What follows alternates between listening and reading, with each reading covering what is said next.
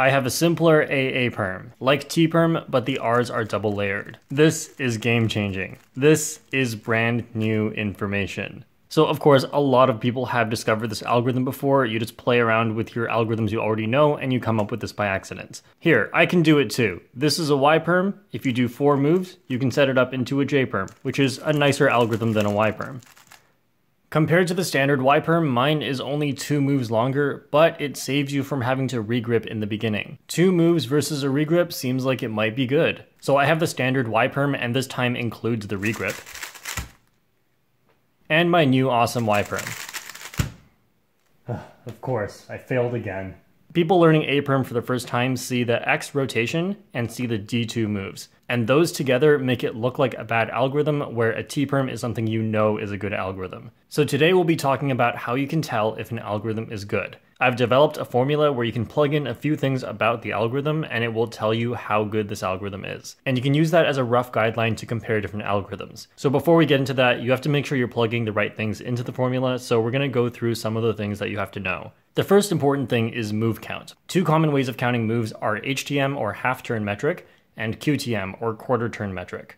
So here I'll do eight quarter turns, and now I'll do eight half turns.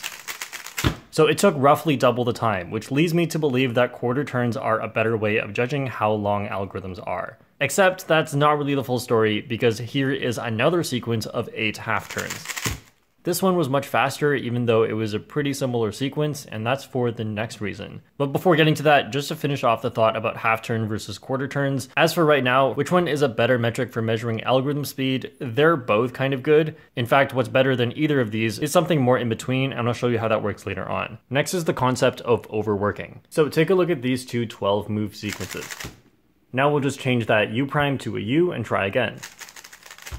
So in the first example, I alternated right hand and left hand for the U-turns. In the second example, it was always right hand, which means I have to reset every single time. But if I have to use the same finger again so quickly that I can't make it back without wasting time, then that is overworking a finger and that takes extra time. So before moving forward, let's apply this to two algorithms to see why they're not as fast as we think they might be. One obvious example is H-perm as it's so obvious and only 7 moves, but if you look at where it ranks in my PLL speeds, shouldn't it be faster? In half turns, it is only 7 moves. But if you count in quarter turns, then this is actually 12 moves. Now, even then, a J-perm is 13 moves, and I can still do this faster than the 12 move H-perm. So then the reason must be the other factors. So for the H-perm, I'm doing M2 here, and then U prime, and during that U prime, I only have that little bit of time to put my fingers back here for another M2. So the fingers I'm using for M2 are being overworked two, maybe three times. And in that case, you can see why something like a U perm would be faster. So here, M2, U prime, then my middle finger actually is already in the right spot to push backwards. I don't really have to reset my fingers here. And then just continuing, there's only one finger reset here after the M prime and I go into M2 again. The next thing is regrips, and this is a pretty big one, but you have to make sure that you're counting them correctly. So first of all, what is a regrip? It's normally that your thumbs are both on the front and anytime you change one of them, then that counts as a regrip. That's the most basic kind of regrip. Now there are smaller regrips that may or may not count depending on the situation that I'll explain in a second. And that is, for example, if you're doing lefty turns and you switch to doing righty turns, you have to move your fingers over. And if you're doing like R and U turning and you have to switch to an MU algorithm and you use these two fingers for your M2s, then you're gonna have to switch to either middle or ring finger holding the back into index holding the back. And that switch does take time, maybe almost as much time as a full thumb regrip. So for example, this is an OLL into H perm and I'll have to pause in the middle. This N perm is 17 moves, and this Y perm is also 17 moves. But I can do the Y perm a lot faster than the N perm. One of the main reasons is the N perm has a regrip in the middle, and it actually costs a lot of time. So here's how that N perm would look, and there's actually two regrips in here, but I'll tell you the difference between them. So uh, ignore this first one, I'll talk about that later as well. So right here, after this F, I'm going to regrip my thumb to the bottom when my thumb was here before the F prime, and then switch to the bottom for the F. That's the first regrip and then continuing, regrip. So the first regrip right here at F prime U prime F, this is what I call a soft regrip. This is because I'm regripping, but I'm doing other moves as that regrip happens, and therefore the regrip doesn't take any time. Then continuing here, I have to use my right hand for this F move. There's not really a nice way unless I do this, which destabilizes the whole cube. So I will do this, and then I'll have to regrip because I need my right hand again for R prime. So I need my hand for the move before the regrip and the move after the regrip, which means there's no stopping that regrip from taking time. That's what I call a hard regrip, a regrip where you cannot avoid the time it takes to switch your grip. And therefore it takes at least as much time as a move because one move is less hand movement than avoiding all these layers to switch your grip. Another example of a soft regrip is the one I showed in the T-perm in my last video about how to turn faster. I also showed how if you remove that regrip, you don't really make the alg any faster because it is a soft regrip and doesn't take any time. An example of a hard regrip is what I do in this G-perm right here. Unless I completely change the way I do this algorithm, with the current way I'm doing the moves, there's no way I can stop that regrip from taking up time. Now, because regrips are a big deal and you usually start PLL with your thumbs on front, then having a regrip to begin an algorithm looks like a bad idea. Now, if you have the way you do PLL very optimized and you tend to be able to recognize from a lot of different angles, then this is less of a problem than you might think. This is because if you're regripping your right hand, you can always just align the top with your left hand. So there's only a 25% chance you actually get it from this angle. If you get it from any other angle, like from here, then instead of doing U regrip into Y perm, you can instead regrip and do U with your other hand at the same time. But generally for a lot of your algorithms, you'll be thinking about how to get rid of regrips and this comes down to finger tricks. For example, the way you'll see me do J-perm in my PLL video, because that's how I used to do it, is by regripping like this to do RU, R prime, and then F prime like this. And I couldn't do the F prime like this if I began RU, R prime this way, the better way, because I didn't like this, I'd have to put my pinky underneath. So now I have eliminated that regrip, but the way I do it is like this into thumb.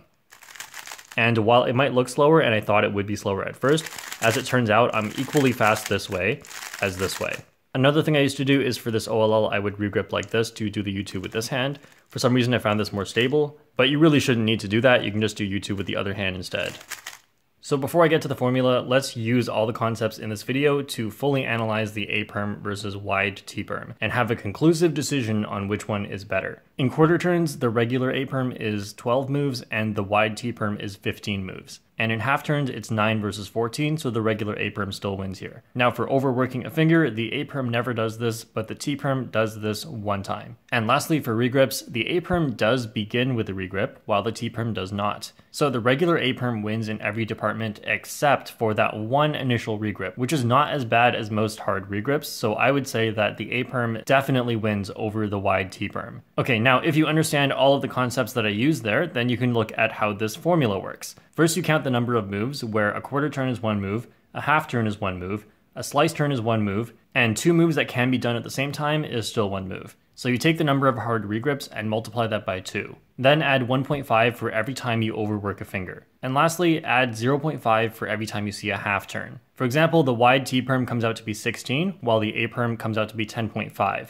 So the bigger the number, the longer the algorithm takes to do. Now this is of course assuming you can do D2 as D2 flicks, because if you couldn't, then this number would be different. You'd be overworking your D finger more. Also, if you take the big one and divide by the small one, then you can see what the percentage difference in their time should be. And if we compare to how well I did with them, it's pretty accurate in this case.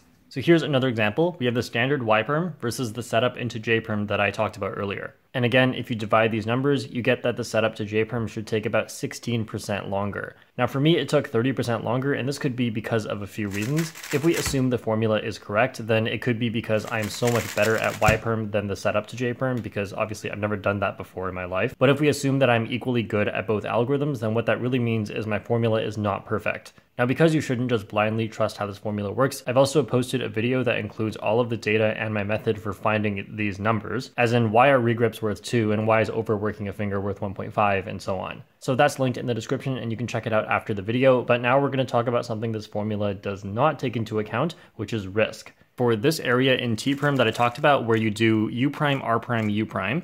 Instead, you can do U prime with your index finger, R prime, U prime with your middle finger. Now, this actually completely removes the overworking a finger. However, it does introduce risk into the algorithm because I do find um, this to be riskier when going very fast compared to just using your index finger twice. Now, my formula has no way of taking into account risk. It can only take into account how well you can do this algorithm at your best. If you think something's risky because there's D2 moves like the A perm, then just practice your D2 moves. In fact, a lot of the time, something you think is risky might just be you not being good at it. But there are cases where you may run into legitimate risk that is actually just a lot harder than what you could be doing instead. As I've said, the formula may not be totally accurate because I am a little bit lazy and I did not use a large data set when creating this formula. Anyway, definitely go check that out as it's pretty interesting on its own. Thanks for watching and I'll see you guys next time and stop suggesting the wide T perm as an A perm.